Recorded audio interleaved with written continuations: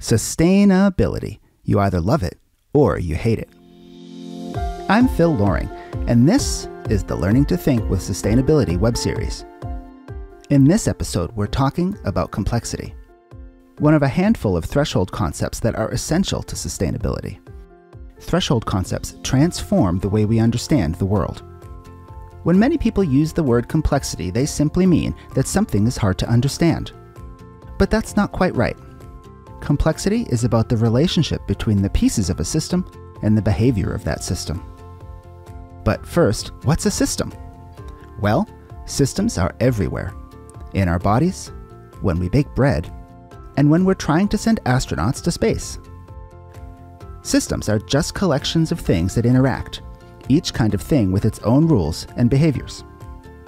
Think about it like this there are three kinds of systems simple, complicated, and complex. Some systems are simple, like a game of billiards. It has generally similar components that follow a few simple rules, and the outcomes are additive. With the right measurements and mathematics, you can predict each shot and each outcome. Complicated systems are more like a game of mousetrap. They're made up of lots of dissimilar parts, each with their own rules and behaviors. The outcomes of a complicated system are still additive, but much more time intensive to predict. And finally, we have complex systems, like games of Go or chess. Like simple systems, complex systems usually only have a few kinds of components that follow a handful of simple rules. However, it doesn't matter how well you know the rules in a complex system, because the outcomes are not additive. They're emergent and hence unpredictable. That's because the behaviors interact in a way that creates feedbacks, like an escalation of aggressive strategies in chess, so each game invariably plays out differently, even if the players start with the same few moves. Here is a video of a complex system. It has similar system components, the Scotty dogs, and one rule get some milk. The outcome, this pinwheel pattern, is created by an interaction between the rule, getting milk, and the shape of the bowl. The outcome is emergent and very difficult to predict. To borrow words from Aristotle, in a complex system, the whole is greater than the sum of its parts. Feedbacks are another key feature of complex systems. A feedback is wherever the behavior of one piece of the system influences the behavior of another piece of that system. Consider again the game of chess.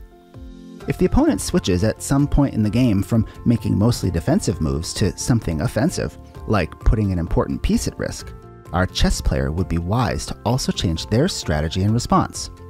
That is a feedback. You can also think about feedbacks as information, as a difference that makes a difference. If our chess player is paying attention, if they receive this information about how their opponent is playing, and then decide to play more aggressively, and then the other player also gets more aggressive. That's what we call a feedback loop. However, if our chess player is not paying attention, if they are uncoupled from the system, they miss this important information and are likely to lose. Feedbacks explain lots of things. They explain why our bank accounts grow over time from interest. They explain why melting sea ice in the Arctic is accelerating global warming. They explain why fish and game populations rise and fall in response to changes in food availability and hunting and fishing pressure. So, feedbacks are among the best tools that we have to achieve more sustainable systems. If we don't have information about environmental practices on farms, or about how livestock are being treated, or about the status of a salmon fishery, we can't change our strategies. That's what local food movements are trying to achieve, shortening the distance between producers and consumers to improve feedbacks. That's also what certifications like the Marine Stewardship Council and Fair Trade are trying to achieve to increase our ability to access and respond to information about the social and environmental impacts of our food.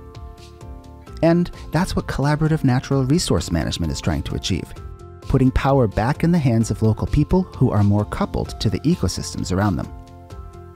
Next time you're observing something in the world, I encourage you to look for the systems that are just under the surface once you start seeing them, I guarantee you'll see them everywhere. Thanks for watching. Stay tuned for our next episode, which explores the role of knowledge and the importance of multiple ways of knowing for coping with this complex world. And remember to subscribe for updates on all of our new content.